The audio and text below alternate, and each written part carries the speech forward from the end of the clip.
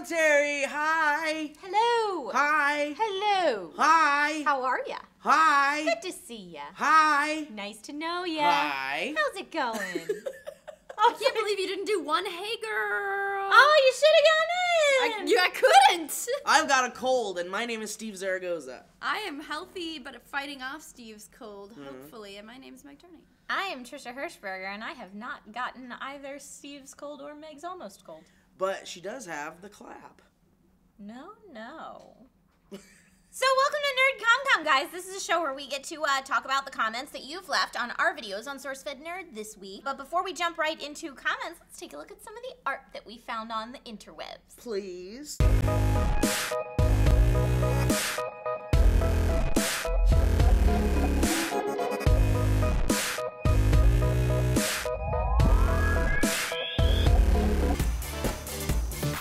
So we did a table talk where we got a chance to talk about wrestling, WrestleMania, WWE, all that fun stuff, and we also talked about uh, getting the sex talk from your parents. And uh, you guys had a lot to say about that stuff. Johnny Tempest said, "Never got the talk, still a virgin, and it's my 20th birthday today." FML. Don't be sad. You save it for somebody special, baby. You do. Trisha, first of all, I want to correct you. It's actually pronounced WrestleMania. Oh yeah. Not many people know that. Johnny Tempest says, never got the talk. No, you read that one already. Dude, I thought you were doing a bit. Lord Zadok says, The Departed is hands down the best remake of all time. Would you agree with that, Steve? I don't know what the best remake of all time. You know what the best remake of all time is? Huh. The Thing. And I'm not talking about the fucking bullshit thing that came out recently that they still called The Thing, even though they shouldn't have called it The Thing because people are going to go to the video store that doesn't exist anymore and say, hey, can I rent The Thing? And then they're going to give you the shitty one. And then you go home and not enjoy John Carpenter's The Thing. But John Carpenter's The Thing is a remake of a movie called The Thing from Another World. The more you know. Ding, ding, ding, ding. Also, the Dawn of the Dead remake is pretty solid too. You guys ever seen The that? Dawn of the Dead remake is probably the only remake that I could say is like a good, solid, like solid, good. solid. Zack I'm Snyder. gonna invent an app that's called Movie Hipster, and every time I hit it, somebody like Steve will pop up and then just say like speak at my face about movies. Sometimes you be need that in your life. just life. a random movie, or maybe I'll speak a word into it, and then it'll just go. I think that's a good idea. right? Everybody, and maybe like if you're going on a date with like an artsy girl, you can get like a little prep course from your movie hipster. Somebody make this fucking app. Million dollar Movie idea. hipster. I think it's called IMDb. IMDb doesn't give you self righteous opinions though. Come on now, that's what this app needs to Someone set it doesn't apart. read the comments. Yeah, exactly. Nick Sim says my sex talk was something like, "Hey, do you know what sex is?" And I said, "Yeah," and then my dad left. Like your house, like your whole family. He just walks out, yeah, drop mic. leaving your Wait. mom. And then he left your life. No, that's what I said. He just says, and then my dad left, and I'm like, did he leave your family? Yeah. Did he leave Well, I guess it. he figured now that you know what sex is, you can spread his seed further, and he his job is done. I don't know. William Craig says best movie remake: Rise of the Planet of the Apes. I don't think it's a remake. It's more of like a reboot.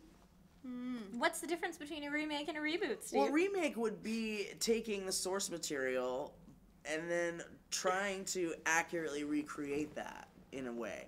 A reboot is taking the concept of the film and turning it upside down, much like RoboCop.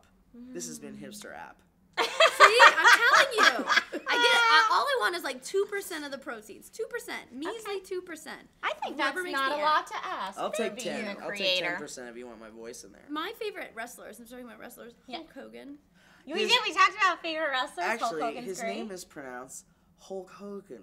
Megan Tontis just posted that cover of that Hey Brother song, and all it does is make me think of Hulk Hogan, and he should do a version of that song. Hey, brother, you some brother. And No, what was like that Hulk Hogan song that you brought in one day? Oh? Oh. the world just lost another Hulkamaniac. I love it. That literally happened in the office.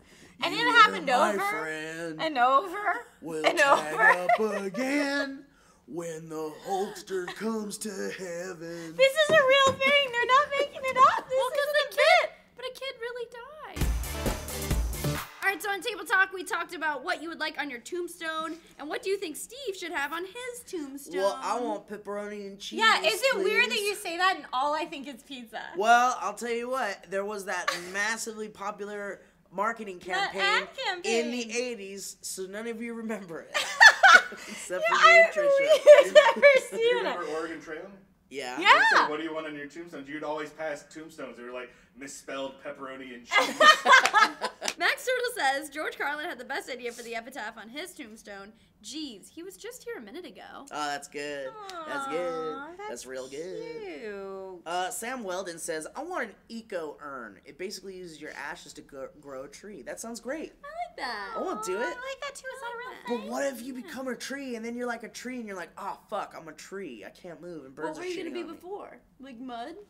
Well, maybe you'd come back to life or you'd be reincarnated. Well, that's a whole nother discussion for a whole other day. Oh. And that's Oh, okay. another Don't you think? story. I And and Trisha says no more of that. no, no. I just feel like the whole rest of the episode will be what happens after you die. I would like to be buried with a sapling, probably some kind of kick-ass tree, like I don't know, redwood, maybe like a what? Are, what else we got there? Like what? Like an oak? Talking about an oak, a pine, Okay. and then I want to be buried in Lake Tahoe, where the most beautiful trees in the world are, as far as I'm concerned. Mark Twain said Lake Tahoe was heaven on earth.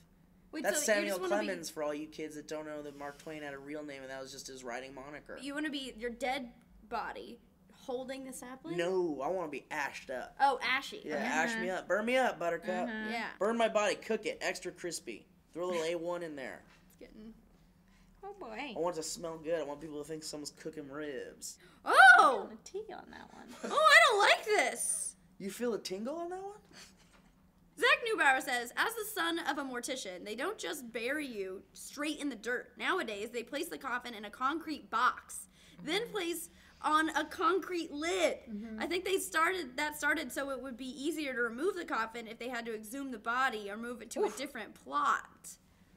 Did you not know that? No, I didn't know it went in a cement thing. Yeah. See, is it weird that I'm like, I don't think that's depressing? I'm like, oh, how interesting. Did you not know that? Did I you know didn't they know did the that. cement thing? Because see, the Really? last time, like when my grandfather was buried when I was young, now this was in the '90s. They like I saw them put the dirt on. Where'd they do that? in like a like a What, funeral. what part of the world? Ohio. When my grandfather passed, like I'd say maybe 10 or so years ago here in California, they totally put him in like, the coffin was put into a concrete thing and then they put a concrete lid on top of it.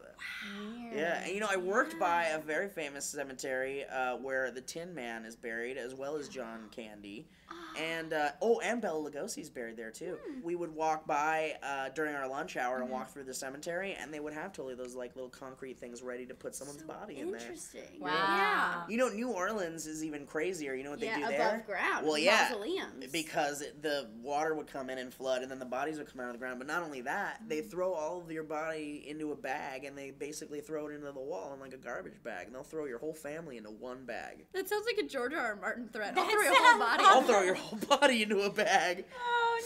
It's basically garbage bags in the wall filled with body parts, probably centuries old. No, no. Merry Christmas. Stephen Colbert says, "Mine, get off me." Steve's, don't take me out of the box. I'm in. That I love it. Thank you, Stephen Colbert. I didn't know you watched SourceFed Nerd. I like that. I'm honored. You get a T-shirt. I hope this is your size. uh, we'll actually contact your YouTube user inbox to get your size, and this is uh, you get the Join or Die shirt from the For Human People's channel. Stephen Colbert, will you wear it on the Colbert Report? please. Our new head-to-head four-way play, four-play, Four wave. four-way, three-way four-play. We did uh, our new head-to-head show, four-play, with Star Fox 64, and much to your guys' happiness, we brought in the Nintendo 64 because of our editors choosing some new games, and I know you guys are very excited about that. And guess who won Star Fox 64? This guy. He did. This guy right here. And guess who got second place? This girl. nice And then I got third. Yay!